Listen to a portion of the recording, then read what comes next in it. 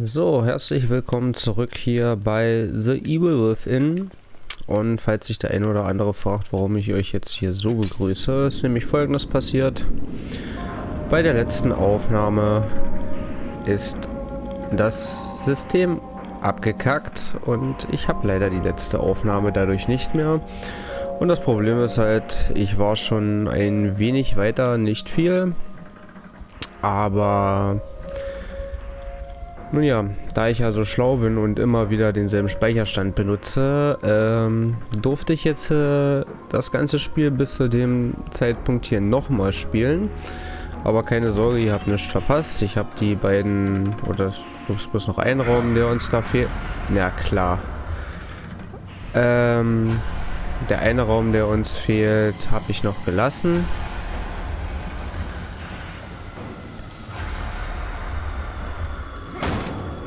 Ihr habt da also nichts verpasst. Und ich habe es auch soweit wiederhergestellt, den Spielstand, dass äh, es so... Ah! Oh, so ein Sack. Also ich habe den Spielstand soweit wiederhergestellt, dass vom Aufleveln her jetzt auch genau dasselbe ist. Ähm, bis auf, glaube ich, den kleinen Unterschied, dass uns ein bisschen weniger Suppe zur Verfügung steht für die 50.000 für den Pfeil. Was halt ein bisschen schade ist, denn ich glaube, äh, besonders wichtig wäre es im nächsten Kapitel, die schon zu erreichen. Ob ich das allerdings schaffe, äh, ja. Ich würde mal sagen, sieht nicht so gut aus. So, jetzt hoffe ich aber wenigstens, dass na, ich wollte nachladen. Äh, dass Ruvik uns in Ruhe lässt. Und hier nicht gleich wieder an ihr Scheißert kommt. Das war aber auch fies. Ich war eigentlich der Annahme, dass ich die ganze Zeit von ihm weggehe und dann spawnt er direkt vor einem. Ja.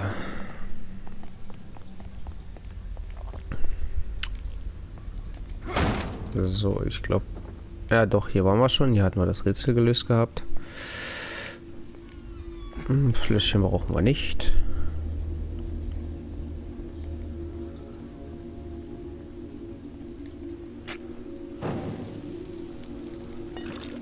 Ich weiß auch gar nicht, ob das jetzt sinnvoll war.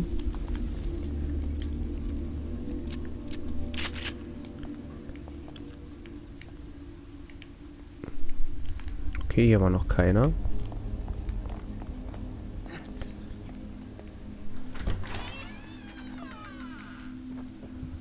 Aber hier durfte Minimum eine sein. Äh. Ich versuch's einfach. Na. Geht doch.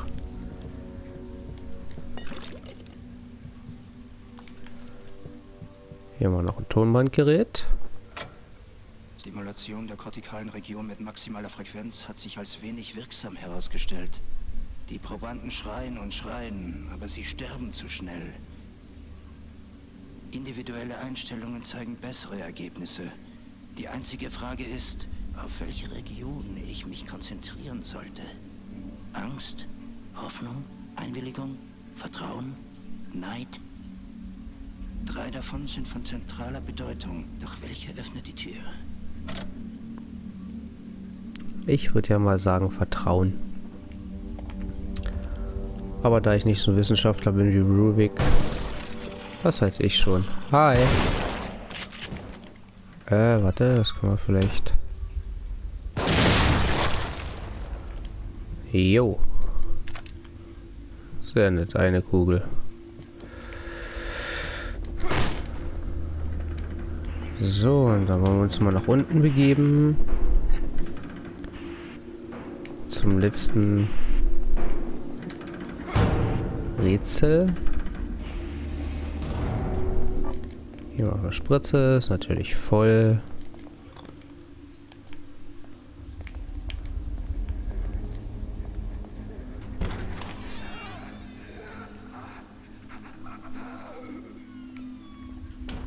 Du siehst mich nicht, du... Scheiße. Alter. Hau ab, Alter. So, jetzt. Und tschüss. Was greifst du mich auch an? Scheiß Vorhang.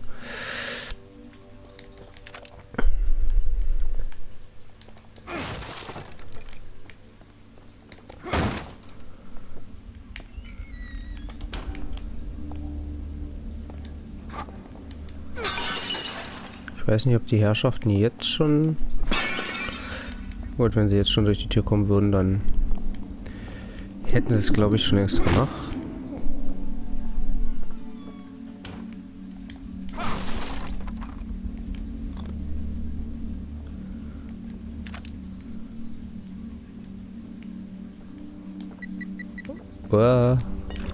Und für die, die sich vielleicht für das Karten, naja, ich sag mal, Rätsel ist es ja nicht wirklich das Karten Teile sammeln interessiert haben. Nein, am ersten Kartenteil bin ich mal wieder vorbeigelatscht. Weiß bis heute nicht, wo das ist, aber das könnte gerne mal jemand in die Kommentare schreiben. Nein! Och, nein! Oh. Na toll.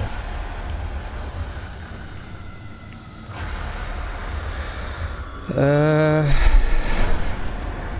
So, tschüss.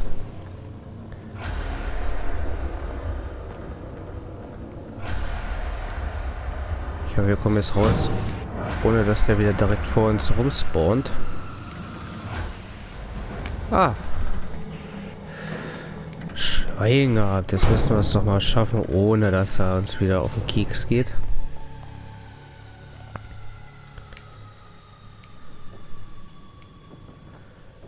So, was haben wir denn hier noch schönes? Notiz aus Musikzimmer am Anwesen. Zwei Welten getrennt durch einen zerklüfteten Abgrund, äh, darüber gesichtslose Beobachter.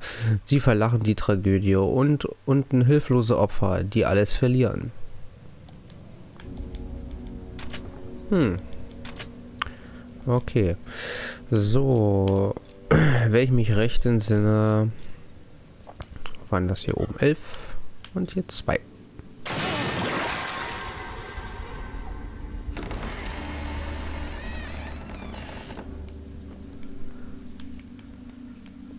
Jeden Fall ein hübscher Nebenraum. Und hier sind wir beim letzten Rätsel. Proband Nummer 14, Test 88C, Vorbereitung limbisches System, dritter Versuch. Elektrodenplatzierung C4, Stimulation des singulären Kortex, Zentrum der Hoffnung.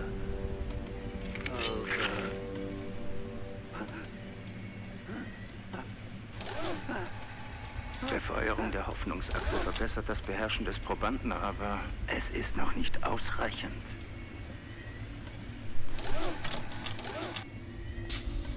Hm? Yeah.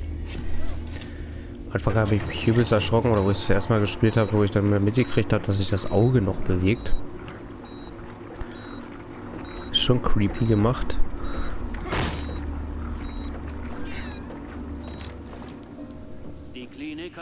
Jahr nicht die übliche Spende deiner Familie erhalten. Und warum sollten wir spenden? Hat die Klinik irgendetwas von Wert hervorgebracht? Deine Familie hat bisher immer einen großzügigen Beitrag geleistet. Wo sind deine Eltern? Sie sind weg. Wann kommen sie zurück?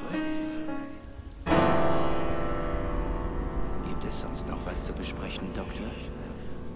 Ich wollte dich darüber informieren, dass die Klinik dir nicht länger Unterstützung und Materialien zur Verfügung stellen kann. Du wirst deine Forschung kaum aufrechterhalten können. Wie kannst du es wagen, hierher zu kommen und mir zu drohen?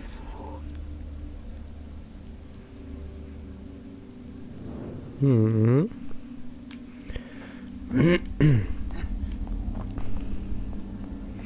Ich würde jetzt sagen armer Rubik, aber Nein, nein. Du brauchst überhaupt nicht auf mich schießen, du Sack.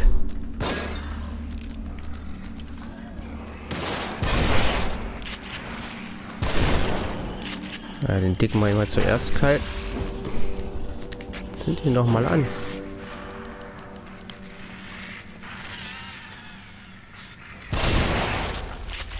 So, das hat hoffentlich ausgereicht. Der sieht so aus und der hat leider nichts für uns. Der Dicke genauso wenig.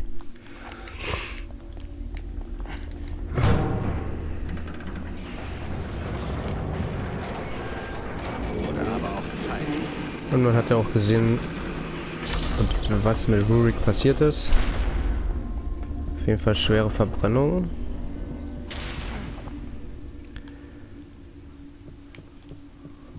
Und wenn ich mich recht erinnere, werden wir auch gleich erkennen oder gleich sehen, wie es dazu gekommen ist. Sauberer Schnitt. Gerade durch. Dafür hat der Onkel Doktor kein Heilmittel mehr. Die makellose Haut ablösen. Gedanken des Gastes. Ruvik. Also hat es schon Kindertagen angefangen. Oder nachdem das passiert ist.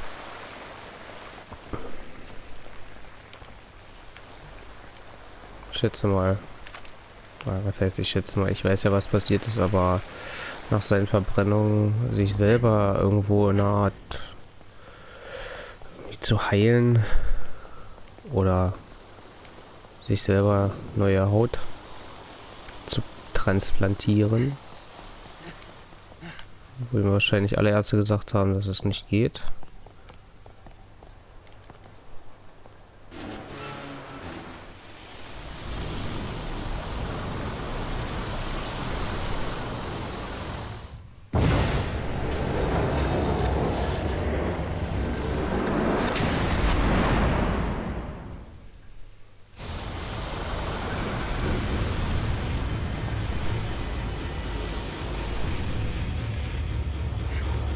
Und tschüss.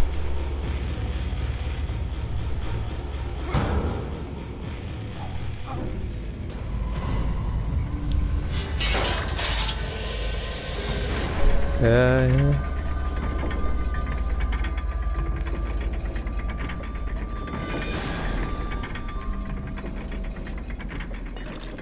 Kriegen wir die auch noch? Hätte ich vielleicht nicht mitnehmen sollen. Äh. Ging's hier durch? Natürlich nicht.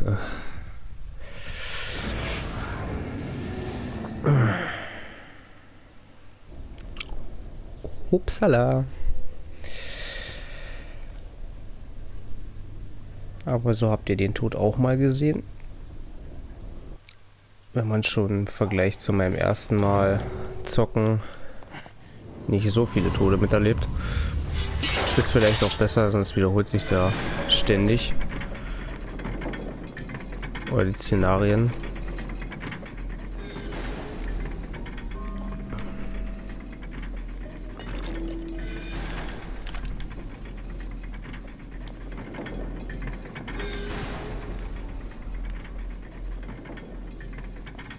Ah,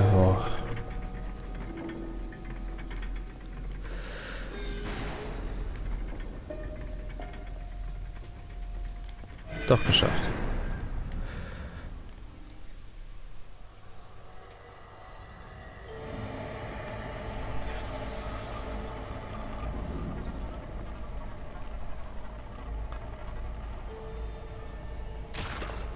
Ich hoffe schwerstens, dass ich das hier auch gleich packe.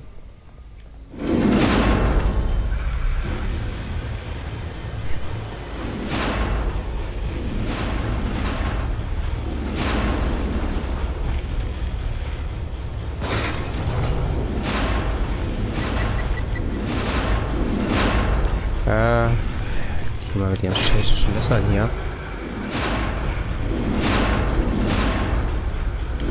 Vorsicht. Die Suppe können wir, glaube ich, noch mitnehmen. So viel Zeit muss sein.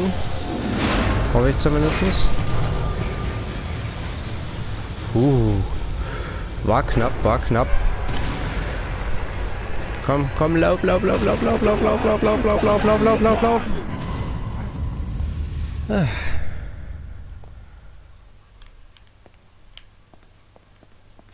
Hier sind wir wieder in Rubiks Zimmer. Noch ein wenig Suppe. Und ich gucke mal. Ne, von der Suppe sind wir, glaube ich, sogar noch ein bisschen besser aufgestellt.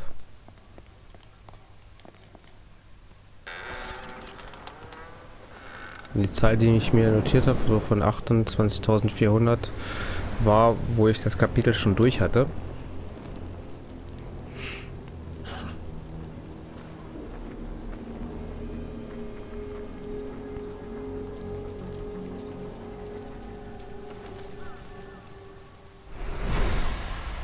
Warum wurde ich hierher geführt?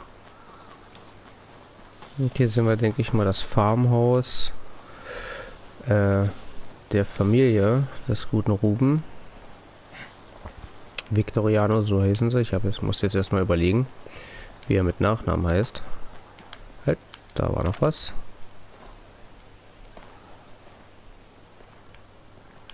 Hier war nichts drin. Hm. Auch so seltsam, dass man dann erst den Fall nehmen kann, wenn man einen eingespannt hat. Auch ein bisschen unnötig. Aber vielleicht haben sie es ja beim, zwe beim zweiten Teil geändert.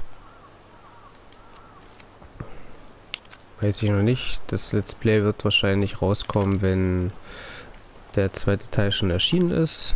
Aber ich nehme es halt hier noch davor auf.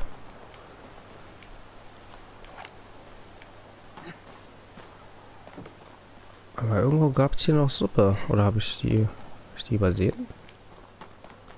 Süppchen, wo bist du? Ich gehe jetzt noch mal kurz rum.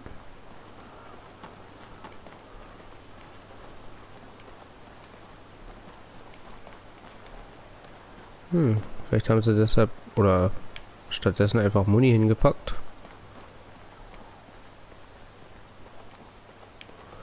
Schade. Hätte ich gern genommen.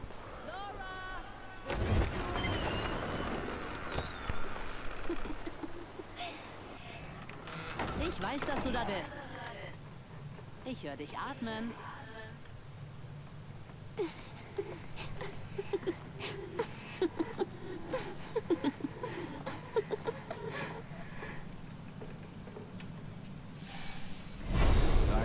Dreckskerle. Glauben, sie können unser ganzes Land aufkaufen. Den werden wir zeigen, wem das Land wirklich gehört.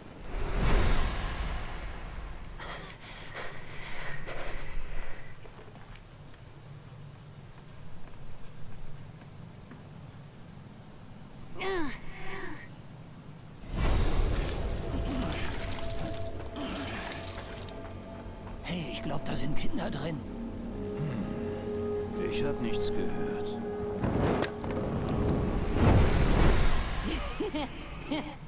Was zur...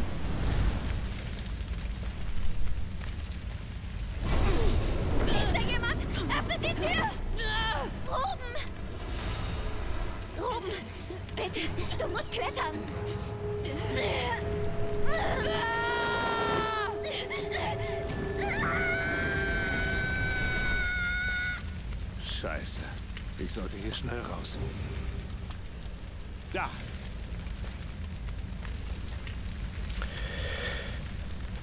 Ja, das war die gute Laura, der wir ja schon begegnet sind. Und Ruben oder sie muss Ruben sehr nahe gestanden haben. Wahrscheinlich so die einzigste, die sich wirklich mit ihm beschäftigt hat oder mit ihm auch gespielt hat. Warum sie auch in seiner psychisch kranken Geisteswelt hier äh, auch erscheint,